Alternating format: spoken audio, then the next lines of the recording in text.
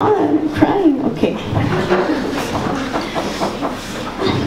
There was a time when my family left the Sonoran Desert for Midwestern opportunity. We moved from Tucson to Kansas when I was five, and my mother and I cried all the way through New Mexico. I didn't know anything other than home. I didn't know that there were more seasons than summer and surface of the sun.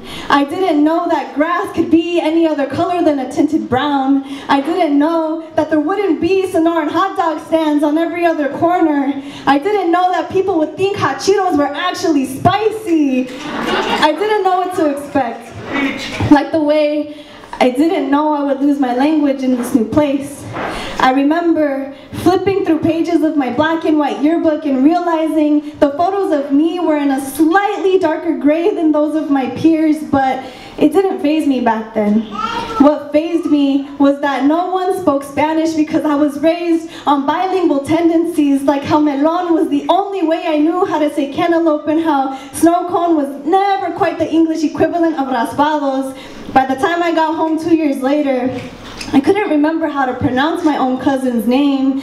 Lily became Lily, and laughter at my newfound accent. You came back a white girl, my brother would say as I played NSYNC from my stereo, and it hit me.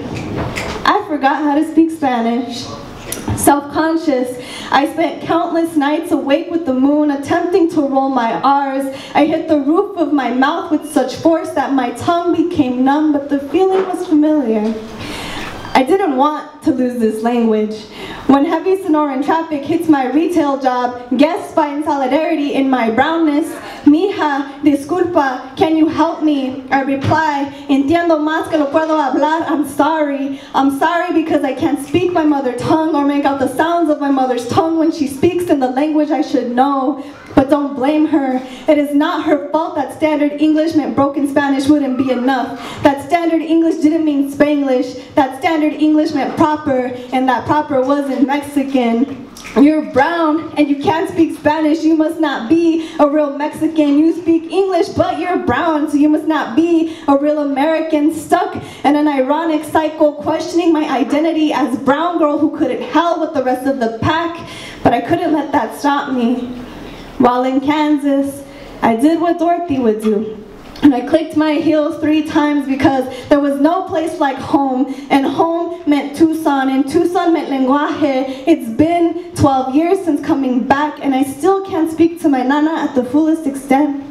I still have trouble tracing my steps backwards to find the voice that exists in places only memories can find. Recuerdo, remember, reminder that our language is a map that they tried to bury with the history that never went in the books.